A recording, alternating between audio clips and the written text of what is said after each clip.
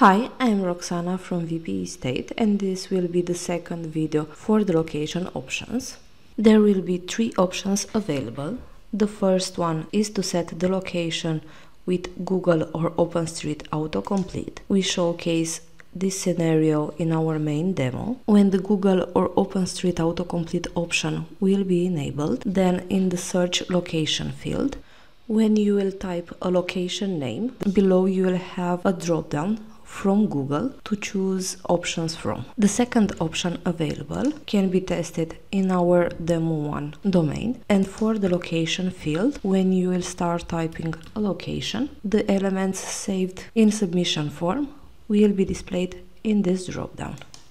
And for the third option, you will be able to set the location field to be a dropdown. In this video I will show how to manage the options for the theme autocomplete. So first I will go to theme options.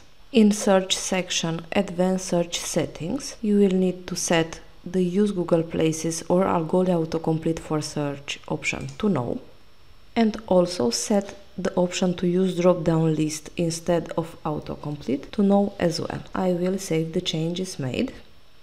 The settings made so far will apply in the search form and in the submission form. And to complete the settings for theme autocomplete, you will need to also go to payments and submit, listing submit page. And here you will have this option, show cities and areas as drop-downs. This option will apply for the submission form and with theme autocomplete you will have the option to set city and area to be a free field or to be a drop-down. I will set it to no and show how the submission form will work for this case and after we'll show how it will work with the option enabled as well. Now I will go to front end and show how the theme autocomplete will work in submission form and in search. First I will add a new listing. I will go to user dashboard, add new listing. I will fill in the detail quickly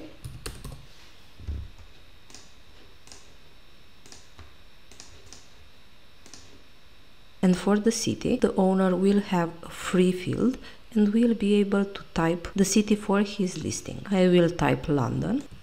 I will also add manually the neighborhood. In this case, the country field will need to be manually selected as well. You will have a drop down with countries. I will select the country as well. I will fill in the rest of the listing details of the record. The new listing is published. I will open it. In address details, you will see the city, area and country. Also, the city and area have been automatically saved as listing categories. I will show. Under listings in city, you will have London saved as a new city and in neighborhoods, you will have the Greater London saved as area. The new city and area will be automatically saved as categories, but for them to be seen instantly in the search form location field on front end, you will need to manually generate the data. Due to speed reasons, the data for non-Google autocomplete is generated one time per day. As said, you will be able to generate manually the data. You will need to go to Theme options, map, and you will need to go to generate data and pin section. And here you will only need to save changes. Now I will go to front end and I will look for the listing that I just added. In location field, I will type London. You will see that the city and area that I just saved will show. I will select London and press search and my listing will be shown as a result. When using the location field in search, you will be able to search by city, area, state and country. Next I will go back to theme options and now I will enable drop downs for city and areas. I will save the change and I will repeat the process by adding a new listing and by performing a search. So I will go to user dashboard, I will fill in the details and now for the city I will need to select one city from the drop-down. The drop-down elements will need to be manually added by admin as listing categories for city and area. In this case I will select London and Greater London. I will also change the country and I will fill in the rest of the details of the record and after show how the search works. My listing is now published. I will open it